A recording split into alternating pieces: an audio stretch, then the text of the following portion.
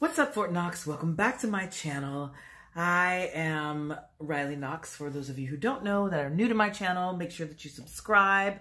I have all kinds of content going on on my channel, and um, it's funny because what I'm going to show you guys today, or what I'm going to do today, is actually something that I don't typically do on my channel, and a lot of you guys don't really know this, but I'm absolutely obsessed with interior design. I actually used to be an interior designer. Right now, and you know, in the recent years, I've been known as being the top Beyonce impersonator in the world, and a lot of you know me for being on stage, but for people who've known me for years and that even knew me since I was a kid know that I have a background in art and interior design. I paint, I draw. Actually, this painting behind me, I painted and it's actually for sale. Um, I'm going to do a gallery pretty soon, but right now just that painting is for sale uh, because what I'm doing today is I'm going to do a gallery wall behind my sofa. And this is actually going to be the start of a new series that I'm doing on my channel, which is basically me getting my home together. Um, I will eventually do a, a home tour. We'll do a penthouse tour, but uh, for um, you guys, and it'll be really fun. But I've decided to redecorate, and I will show you guys the old way um, that it is. Um, I'm going to be doing a lot of different things, so it'll be an ongoing thing you guys will see in the coming weeks and months. Uh, but I really wanted to basically show you guys the artistic background that I have. I mean, I've been you know, I've designed many homes. I'll put in some pictures um, here. I've designed homes and boutiques and uh, rooms for people. I actually started doing interior design when I was, well, I've been interested in it as far back as I can say about eight years old. I've drawn and painted and always built things. And I used to actually build model homes um, out of cardboard, but they were gargantuan. They were huge nuts. Um, so a lot of you people who are watching that knew me when I was younger um, can attest to this. But uh, my first interior design project was my aunt, who um, had rest in peace. My aunt, who I loved so much, was my favorite aunt, and we were very close. And she used to design her home all the time and redo things. And I would go over her house, and she would be redecorating and um, and she would let me help her and I would, you know, give her ideas and she'd give me, like, she'd show me how to do things. And her house actually caught on fire and her kitchen burned completely. They had to gut her kitchen. And so around about, I must have been about 15 or 16 years old, I actually redesigned her kitchen. I sketched it out, I painted it, I mean, I, I sketched it out, colored, and um, basically did the whole blueprint at 16 years old for her kitchen. And that kitchen actually still remains today. She's passed on, but her kitchen is still just as I left it, as I designed it. So that was my first job. And then I ended up doing um, things here and there, and I opened my own interior design firm uh, back in like 2000, I think. What was it, 2008 or or something like that. Um, but what happened is a recession hit and people were not paying people to design pillows and and pick out curtains and stuff for their house. So, you know, luckily somewhere after that, my career as an entertainer uh, took off and I was able to become successful in that. But my love for interior design never stopped. And probably one day when I, um, when I uh, quit this not quit or retire from from entertaining because I won't be able to do it forever. I'm sorry, guys, I won't. But when I retire from doing interior design, I will definitely. I'm not interior design from performing. I'll definitely go back into maybe not interior design, but becoming a real estate developer. I actually designed um, last year. I designed a home and gutted and redid like designed everything down to every little detail, and I love doing this thing.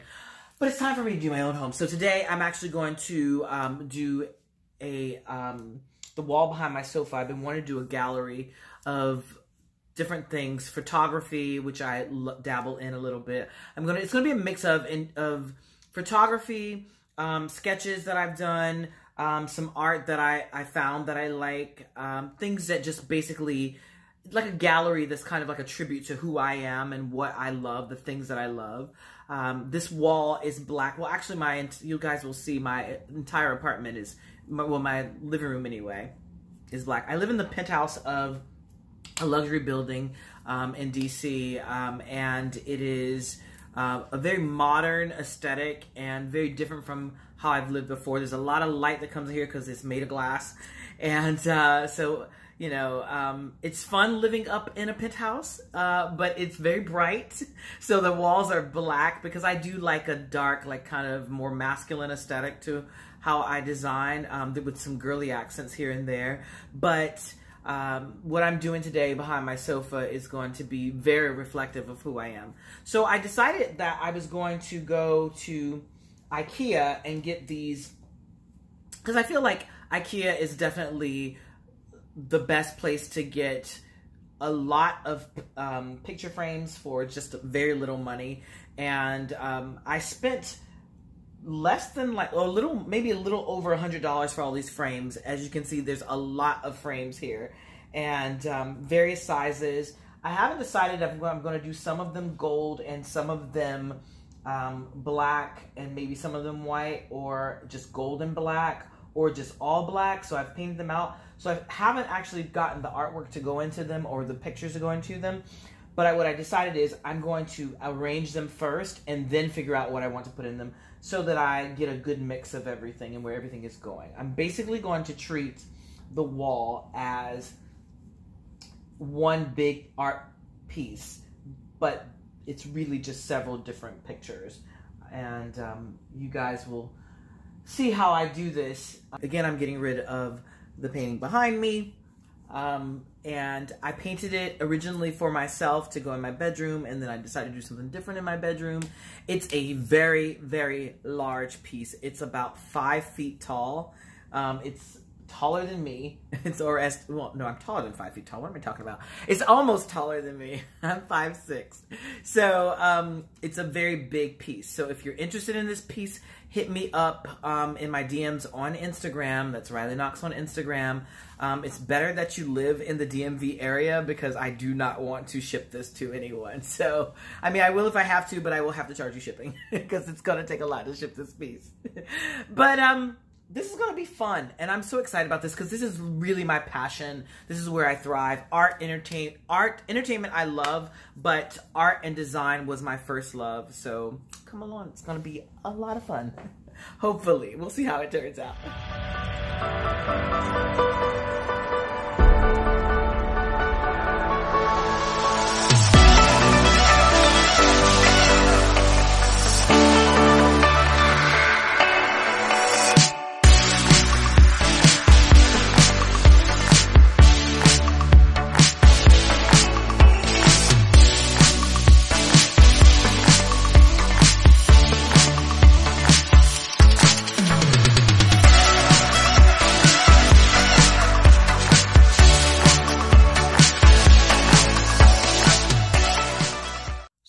thing I've done is I've mapped out the section behind the sofa that I want to put the general area of where I want the pictures to go. Don't worry about this being completely straight. It's just a general area. Of course, we want the pictures to be level, but this is basically just saying that nothing that is on the outside of this will have pictures. So basically all the pictures will be within this general area here. And it's pretty much like the inset of the sofa. I measured it out. Um, but nothing will be higher than that and nothing will run over that. And basically that's just a general area. And so basically it's like having an art piece that is this big full size of this wall behind this sofa. Eventually, I'm going to get a new sofa because this one was custom made, but it's really not my style anymore. I'm not into this tufting. It was something I was into back when I was into some more glam design. And I've always been into like a 70s style, like genie lamp, but I'm going to replace that also. Um, but we're moving into a more modern aesthetic. And I still, of course, love the black walls, but um, these walls have been painted a while ago, so they've cured. Um, but I'm just using painter's tape, which will not pull the paint off the wall anyway. And now I'm going to make a template for all the um, different frames that I have. So now what I'm going to do is I'm going to take this really giant piece of paper. I happen to have this paper left over from like it was a backdrop on a concert that I did. But um, you can use newspaper or just any kind of like brown paper, whatever. I'm going to trace out all the um, different sizes that I have, and then I'm going to cut them out. And once I cut them out, I can stick them on the wall and move them around however I want to move them around. Um, just basically until I get the desired design that I want. Um, but this makes it much easier than just bamming holes into a wall. I can space them perfectly. And yeah, so basically that. So all I'm going to do is I'm just going to basically trace the actual picture frame out.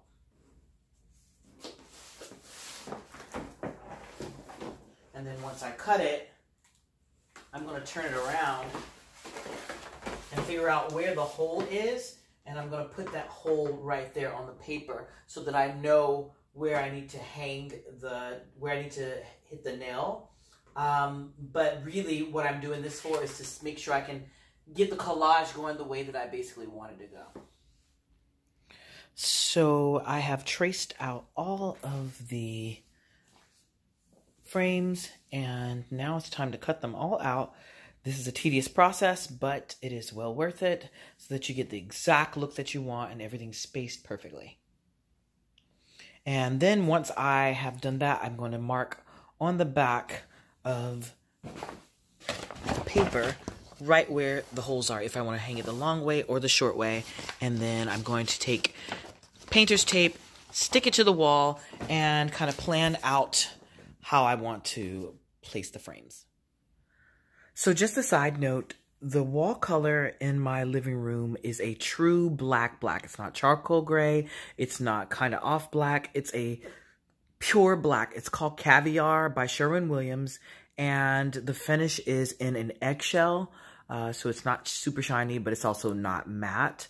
Um, a lot of times people are scared to paint their walls black, especially in a small space, but I knew that I was going to be placing lots of things on the wall. So everything you place like these pictures, which have these white frames and the black frame, well, excuse me, the black frames and the white mats, those are going to really pop. So everything you place on there, whether it be like drapery or plants or even like this light colored sofa, really pops off of the wall.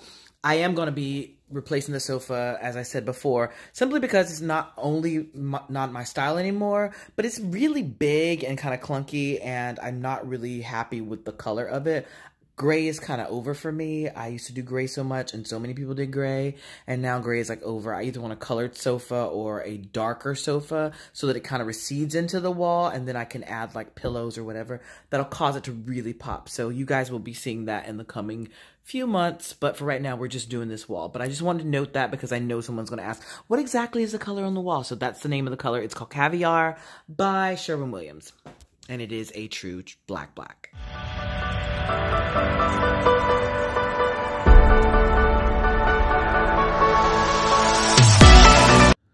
So I know this looks crazy right now, but This is all level. It's going to be, it's just a, the really cool thing about the Ribba frames from um, Ikea is you can do one hole or one nail and that will catch on the hook and it, you can kind of level it yourself because it's in the center.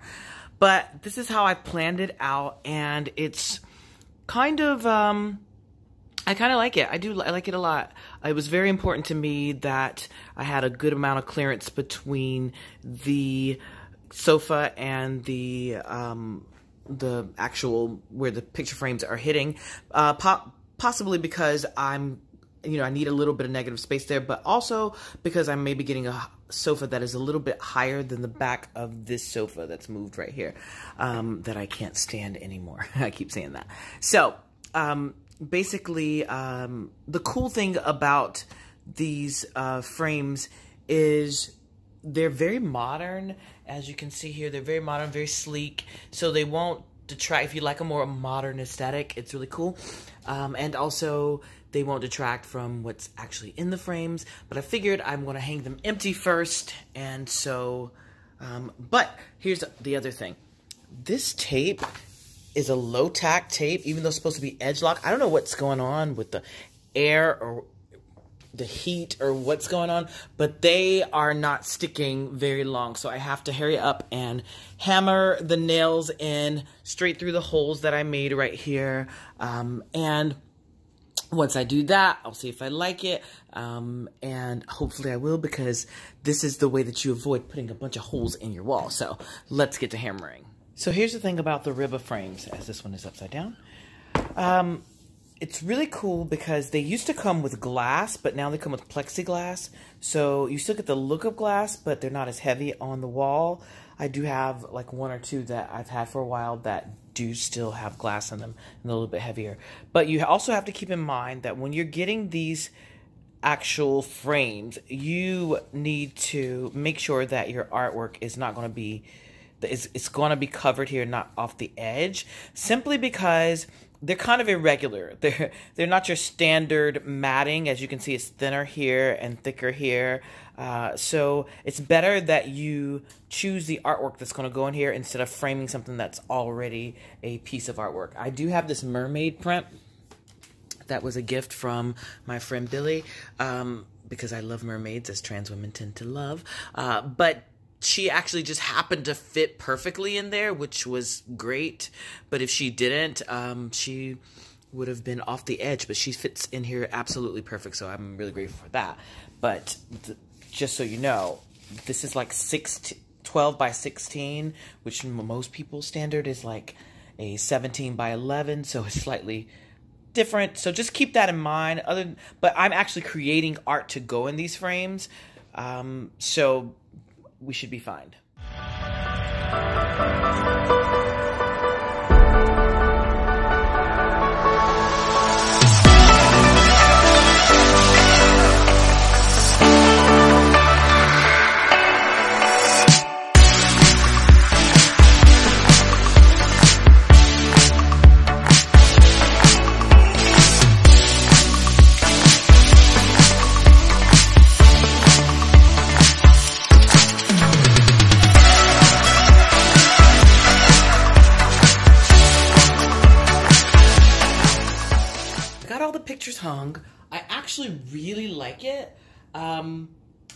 I'm not sure. I think I'm gonna go back and paint some of them. Like you see, I have this one gold here, like maybe the bigger one, and I do need another one in this space right here, maybe a smaller one or medium sized one.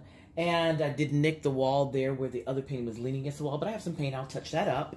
Um, but now I get a good feel, a good sense of where everything's located. So now I know what I want to put, whether I want to put like photography, architectural photography in one, or sketch in another, or you know how I want to do. Like obviously we got the mermaid here. This already a sketch, but like I'm gonna do some sketches.